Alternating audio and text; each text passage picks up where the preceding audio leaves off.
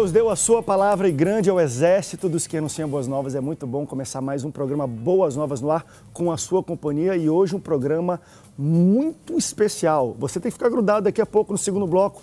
Você vai conhecer o nosso convidado de hoje. Vou deixar uma dica é um policial militar violeiro que o Brasil inteiro canta as músicas dele. Tenta adivinhar aí quem é a pessoa que está conosco hoje. Daqui a pouco eu apresento para você.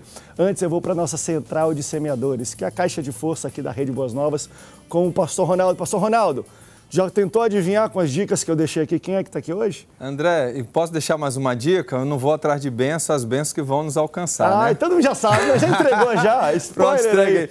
Ó, não vou atrás de semeador, não. Os semeadores já... é que vão ligar para cá muito, hein? É verdade.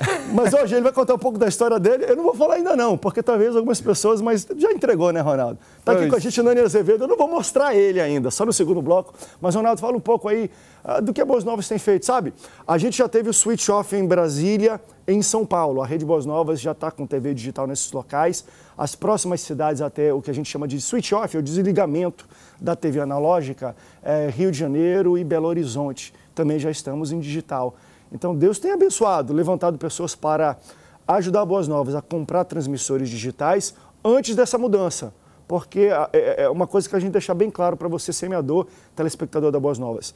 É necessário que isso seja feito antes da mudança, porque aí a pessoa quando compra eh, o televisor digital ou conversor digital, ele faz aquela varredura, não é verdade? De sintonia e a Boas Novas já fica captada lá. Isso tem que acontecer antes, antes da mudança, senão depois ele esquece, não faz de novo e às vezes nem consegue sintonizar a rede Boas Novas. Então é importante que você continue semeando para que a gente compre transmissores antes da mudança do analógico para o digital, não é verdade, Ronaldo? É verdade, André. E aqui no Rio de Janeiro, que a gente está aí no, no mix, vamos dizer, né? Já tem o canal digital, é, é o 5.1, mas a cidade é tão grande que tem outros pontos de transmissão também. E a Zona Oeste ainda é alcançada pelo analógico 42. E a Gilda Carla assiste no canal 42 também. O irmão João Batista Gonçalves também assiste no canal 42. Inclusive, o João Batista Gonçalves, ele é semeador da Boas Novas, mas ele não está desanimado não, André, com de repente aí, nesse momento de transição, né, nessa mudança do analógico para o digital, ainda temos esse grande desafio da Zona Oeste aqui do Rio de Janeiro. Mesmo assim, ele continua semeando, ele também ligou para a gente para poder atualizar os dados cadastrais dele, dar o CPF, né, porque agora teve essa mudança aí do sistema bancário, então tem a obrigatoriedade da inclusão do CPF na, nas emissões dos boletos bancários aqui de contribuição, do carnê de contribuição. Então, o irmão João Batista não quer deixar de contribuir e está junto com a gente até o final, né? Até a gente conseguir completar todo esse desafio aí da digitalização da Boas Novas. E é assim que a gente precisa, de gente de fé, como o irmão João Batista, que está junto, está orando, está semeando, está torcendo para tudo dar certo e 24 anos é 24 anos de milagre, né, André? Então tenho certeza que Deus vai continuar suprindo na Boas Novas e essa obra vai avançar. Então por isso que a gente está aqui aguardando a ligação do pessoal, aguardando o zap, aguardando o e-mail. Essas informações vão passando aí no vídeo durante todo o programa e a gente está aguardando o pessoal semear. Isso mesmo, fica o nosso convite. Vamos, vamos evangelizar o Brasil inteiro, vamos ganhar nosso país para Jesus através da televisão. Para fazer isso, entre em contato pelo telefone, pela internet ou pelo WhatsApp também, tá bom? Ah, eu quero só, antes da gente ir para o intervalo, mostrar para você um, um investimento novo da Rede Boas Novas que já está no ar. Toda sexta-feira, se eu não me engano, toda sexta-feira às nove e meia da manhã, para você que tem filhos, a Boas Novas licenciou o melhor produto infantil, produto que custou mais caro para se produzir no mundo que se tem história. É uma animação em 3D e uma série que nós licenciamos para todo toda sexta-feira, toda semana, às nove e meia da manhã, você assistir com exclusividade no Brasil, na tela da Boas Novas. Eu estou falando do Superbook ou Super Livro, que foi um sucesso nos anos 90, agora está repaginado em 3D. Veja só.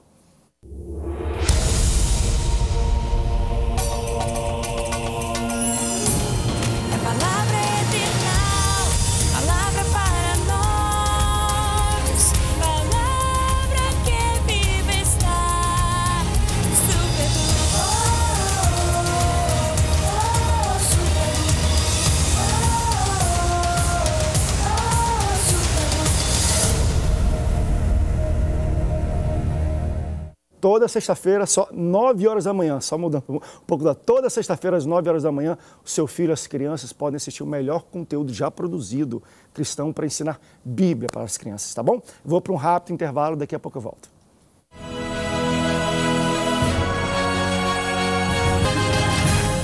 Olha, no primeiro bloco a gente já deu as dicas, acho que todo mundo já sabe. Sabe quem está aqui? Nani Azevedo, meu amigo Nani, obrigado.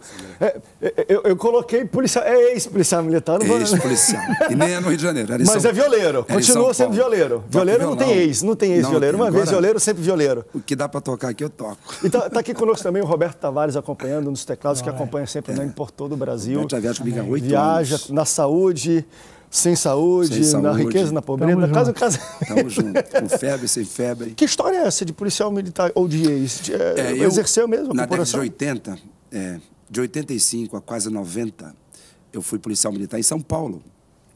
Você é natural de São Paulo? Sou de São Paulo. Capital? É, isso. Eu saí de São Paulo, eu tinha 25 anos de idade. Okay. Quando eu casei, fiquei um ano só e fui para Foz do Iguaçu. E de lá fiquei nove anos, agora estou praticamente 20 no Rio de Janeiro. Mas de cinco anos da minha vida eu fui policial militar. E como é que e foi? Foi muito bom, porque é. o que eu queria, né? Okay. Eu tinha um primo que era oficial e eu me espelhava muito nele, assim, sabe, na, na, na firmeza, uh, até na, na, do jeito dele falar uhum. e tal, e pegando bandido e tal. Aí eu, eu falei, sabe, eu quero ser policial. E fui, tentei Não sei se hoje vezes. seria algo que o seu filho se aspirasse a ser policial aqui. Não, não hoje não. Você... não. não. não meu filho... É- Aqueles tempos eram é. outros tempos para o policial. Aí eu tentei quatro vezes e passei depois na quarta. Uau. Meu pai orava e falava assim, você pode ir, mas você não vai, não vai passar. Hum. Porque eu vou orar para você não passar. O seu pai era que tipo de... É, é, era cristão? Você nasceu uma família cristã? Rígido? Rígido. Embora ele é um cara muito amoroso, mas uhum. aquele tempo a igreja... Ele é vivo ainda? Não, faleceu. Okay. Aquele tempo a igreja era muito rígida, né?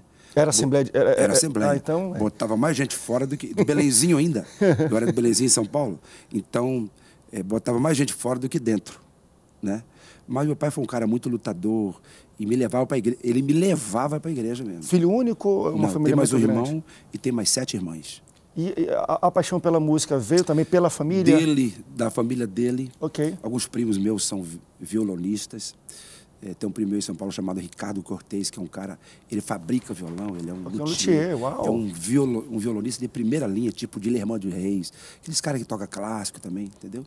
Então vem da, vem da, vem da, vem da família Azevedo, do meu pai.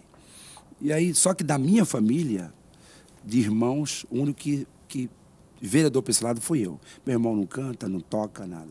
Minhas irmãs gostam de cantar. Tal. Olha, eu tenho um sobrinho, o Thiago, que toca muito toca bem, muito ministra bem. muito bem também. Olha, quem, segue, quem segue, eu te sigo nas redes sociais. E depois eu vou mostrar, tem um vídeo, acho que até tem aí, tem um vídeo dele tocando. É, toda vez que o Nani aparece, está com um violão diferente. Ele é apaixonado por violões. e, assim, tem um, eu lembro Coleção. a primeira vez que eu tive contato com o Nani, acho que foi lá em Belém do Pará tocar, foi, foi com um que era só armação, era meio transparente. É. Eu olhei aquilo e falei, que negócio é. chique. Tem um vídeo, eu quero mostrar um pouco do vídeo que a gente tirou do Instagram do Nani, você que, enfim, não segue as, ele nas redes sociais, siga, ele enfim, sempre está tocando alguma coisa diferente e abençoando através das redes sociais. Veja só esse vídeo. Um adorador por excelência, um adorador por excelência, um adorador por excelência, quero ser. Isso é violão? É, Isso é um toda violão. vez que tu aparece. Por exemplo, tu tá com. Isso aqui Poxa, é, isso aqui Deus é... abençoe o seu servo, né? Antes era tonante, né? Agora a gente veio essa turma. Era Janine, Delvecchio. Quando eu comprei um Delvecchio. Meu Deus, eu era... chorei. É, esse aqui é um Little Martin. Uau, né? lindo é um pequeno, ele. É um pequeno... Pra viajar pra você é, é o que tu leva pra, pra cima e pra baixo. Mas aquilo é violão, aquilo. Você... Aquilo é um violão. Eu tava em Londres com a minha esposa. Aí procurando uma loja assim, tá, tá, tá, loja de violão é que nem loja de mulher e sapato, ah, né? Ficou... Eu entrei, tá, tá, aí minha mulher falou, que é isso aqui? Eu falei, é, é um violão, fui lá. Eu não sei falar muito inglês, mas é violão de mochileiro, backpacker, alguma coisa Backpack. assim. Backpack. Aí eu vi, ah não, vou levar esse traço. Tu tem quantos violões? Eu já cheguei a ter 15 violões. Meu Deus. Aí hoje eu tenho um, é que nem mulher com sapato mesmo. Não, ali. Só cinco, só. o que eu viajo mais é isso aqui mesmo. Uma das tuas influências, acho até por causa de família, você falou um pouco do, do violeiro mesmo, modão, moda de é, violeiro. Eu, você... eu cantei muita música, muito hinos, né? É, em sertanejo com meu pai, quando eu tinha, era garoto, tinha meus 14 anos. Eu vou te pedir para fazer alguma coisa aqui pra gente, um gostinho de uma moda, alguma coisa. Vamos lá. Que é gostoso de ouvir demais. É, eu, nos eventos, eu e Roberto, quando eu estou no Mato Grosso, Goiânia, Goiás, aquela região, até Minas, né, que é muito, muito violeiro, e a região do norte, lá no Rondônia, para aquela região, até a região da tua, uhum, da tua uhum. família. Eu, no, na música Barquinho, que é do, do Moisés Clayton, eu puxo no final uma moda de viola. Né? Ah, né? ah o povo parece ah, que... é loucura, é claro. Parece que o povo se converte de novo. e eu quero aqui até pedir perdão, estou com uma virosezinha, na... então me, me tá a voz. Mas vamos lá.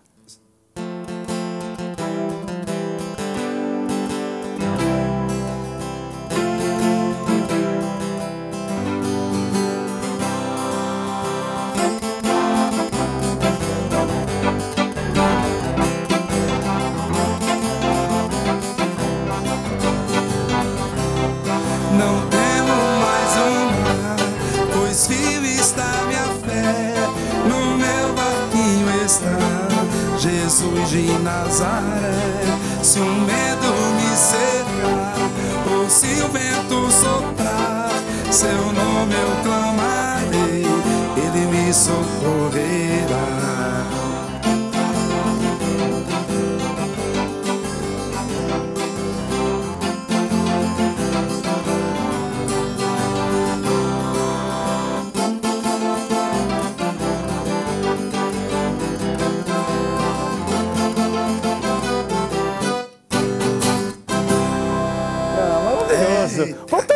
Lá, mas ah, quero mais. Tem, tem, poxa, tem que puxar, acho que todo o Brasil gosta um pouco. É porque é, é, é, uma, é música muito de raiz brasileira é. mesmo, né? Independente, é acho que da mesmo, região, do, do, local. E aí você vai e o povo parece que se converte de novo. Muda. Essa simplicidade, às vezes, de tocar é um pouco tipo, o, que Deus usou para. Eu, eu até lembro, assim, a primeira vez que a gente começou a ouvir em rádios, em própria televisão, na sua música, era uma música muito simples, é. aquela que é fácil de tocar. Porque quando. Claro que quando tem uma produção também é legal, é bom e tudo, mas quando você vai para a igreja, porque quem, o que faz, eu falo pessoal, estourar às vezes música no Brasil é igreja. Ok, é. rádio, ok, tudo, mas pode tocar dez vezes na rádio. Se não tocar na igreja, não, não vinga. E a sua é. música é uma música muito simples, muito congregacional. congregacional. Que essa é a palavra eu, correta. Eu uso sempre uma, uma frase que o difícil é fazer o fácil. Hum, o simples é muito complicado é, de fazer, o né? O simples é complicado de fazer. É, tudo bem que eu amo altas produções. É, quando eu vejo, igual na sede, por exemplo, aquele pessoal fazendo música, eu fico, pô, que joia. Tudo bem que eu sou meio relaxado, vamos entre aspas, não tenho estudado mais, né? Tudo que eu sei, eu sou autodidata, mas vou, usar essa palavra, mas foi Deus mesmo que me ensinou. É Quando é garoto ainda, não sabia nada, pegava e ficava a noite toda tentando achar alguma coisa, cantando e tal. Então, se eu tentar estudar, eu não vou conseguir. Eu não consigo ler música, eu não consigo decorar cifra. Tudo que eu sei, a maioria não sei a nota. Então, eu vou assim, já estou com 53 anos, dá para terminar. Ah, não vamos mudar dá assim, para terminar assim. Então, eu gosto de cantar música simples, porque a igreja não gosta de nada complicado. É. Se você botar música complicada, a igreja então é melhor você fazer, eh, você ser apenas um intérprete. Olha, eu vou cantar e vocês ouvem. A igreja tem que sentir a vontade para cantar e saber o que está cantando. Perfeito, então, eu tenho, eu tenho tido essa, esse privilégio de todos os CDs que eu gravei. Eh, geralmente, o Roberto viaja comigo, a gente vê nem música de trabalho eu puxo, a igreja, a igreja canta. Ou seja, se a igreja cantar 60% do teu CD, é porque tá bom demais. Tá né? Vamos fazer um poporri, um medleyzinho, alguma coisa, relembrar alguns. Vamos. Pode ser sucesso a música que você gosta. Não, vamos lá. Na igreja.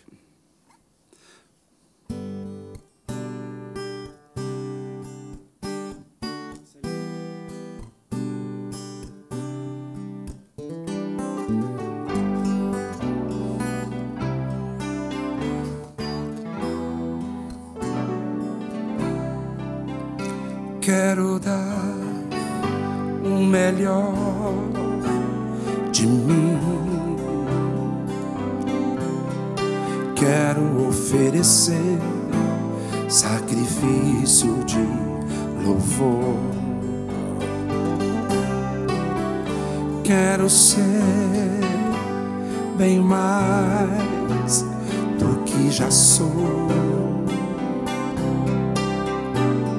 um adorador por excelência me tornar. eu não vou me importar com o que vai acontecer. Eu só quero te exaltar. És a razão do meu viver. Eu não posso me calar. Tenho adoração em meu DNA um adorador por excelência, um adorador por excelência, um adorador por excelência. Quero ser. Aí uma mais conhecida também. Sim, Deus é fiel para cumprir toda palavra dita a mim. Deus é fiel, Deus é fiel. Aí entra. Porque eu, Senhor teu Deus, te tomo pela tua mão direita. Eu sou e te digo: não temas, não temas, não temas. Não temas que eu te ajudo.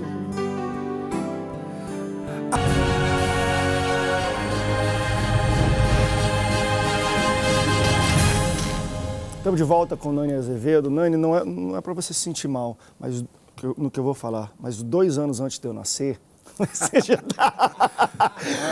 você, eu, eu, nasci em 84, 82 é. começou no, no, no, no é, Naquela conjunto, época era conjunto, não era grupo, é. ministério, era conjunto. Era, ainda tinha gravadora Nova Pastor, Louvores do Coração. E eu era da Louvores do Coração. Ah, vamos fazer alguma é, O Jorge Araújo, que era o pai da Daniela Araújo, uhum, e Paulo, uhum, uhum. eles que me iniciaram nesse meio e tal. Eu, a música que eu gravei com ele foi que... Isso em 82 nessas músicas agora. Vamos voltar. As 99 deixou no e buscar a tua. Não dá para lembrar mais. Muito tempo. Não dá para lembrar. Mas tem 85, pode falar? Pode, claro. Em 85, eu gravei a música, eles gravaram a música comigo assim. Naquela cruz do meio, o meu Senhor morria. O coro diz: mas ao terceiro dia veio energia do céu e aquela luz voltou a brilhar para iluminar os nossos corações.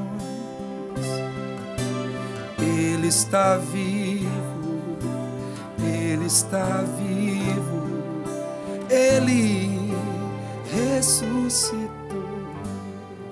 Ora, em 85, se eu usar a palavra energia, ah, quase me mataram. O que, que, que, que, toca, que, que se tocava naquela. Enfim, né?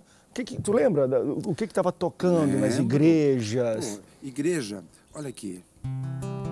Porque 87. É, não... A único uhum. que é digno de receber. Bené Gomes, Essa né? faixa.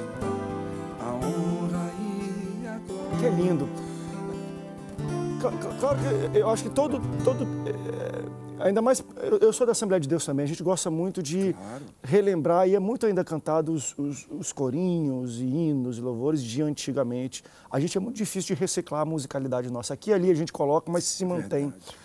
Mas você, não morre, né? Pois é, é, é, mas eu acho que isso é, cada um tem o seu tempo. Daqui a 30 anos, você entende que as músicas que a gente toca hoje continuarão bombando como as a única que a Digo é, sempre é cantada. Tem música que fica para a história. Não tem? Tem muita música que vai e some. Tem muita coisa que eu não lembro. Mas músicas que ficaram na minha história, na história de alguém, vira hino. É. Por exemplo. Eram sem ovelhas. Ah, poxa. Essa aí juntas no abriço. Hino. É. Eram sem ovelhas amante. Essa música é linda. Hoje sou feliz com Jesus ao meu lado. Caminhando vou dizendo, meu Senhor, muito obrigado. Eu te amo. Tudo música que ficou para a história. Né? Se fosse uma roda, tem isso muito na sua família, une pessoas ou música. Aí, aí vai até duas da manhã, vai, Vai, puxando vai. o fio, daqui a pouco vai saindo uma atrás da Vara à outra. noite, porque a família toda criou na igreja. Hum. Então, nós vivemos essa época. Um dia desse, no programa de rádio, me perguntaram qual foi o melhor momento do louvor que você encontra. Eu falei, ah, 80, pô. 80. Infelizmente, hoje é muita, muita coisa maquiada. E só tem versão, ninguém parece que cria mais. Hum. Não tem mais compositor, parece. Né? Então, vamos fazer, cada um, cada um. Tem alguma coisa nova co- composta ainda que ninguém sabe? Olha a, a- a pergunta. Você, eu sei que você vai lançar ainda, não sei o quê. Canta alguma coisa que ninguém conhece ainda seu. Tem dois minutos só para terminar, né? E, e- e- junto com isso, a gente pode cantar alguma coisa, já nos despedindo dos nossos telespectadores. Roberto, obrigado pela tua presença aqui, tá bom? Bênção. Muito obrigado. Receber você também aqui. Amém. Que Deus continue abençoando vocês. Meu amigão, você sabe que mora no, no heart, né? no coração nosso. Obrigado pela tua presença aqui. E pode, podemos fazer Eu uma tô- coisa pode. inédita aí? Eu estou fazendo agora um CD espanhol também.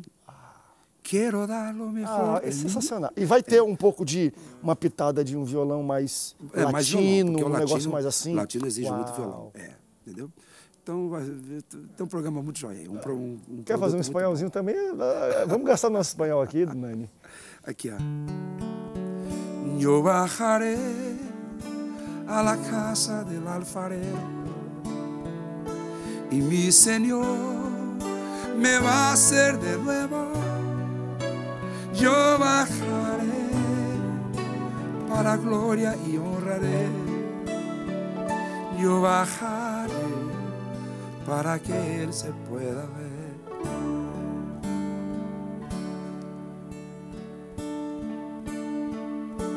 Yo bajaré a la casa del alfarero y mi Señor me va a hacer de nuevo. Yo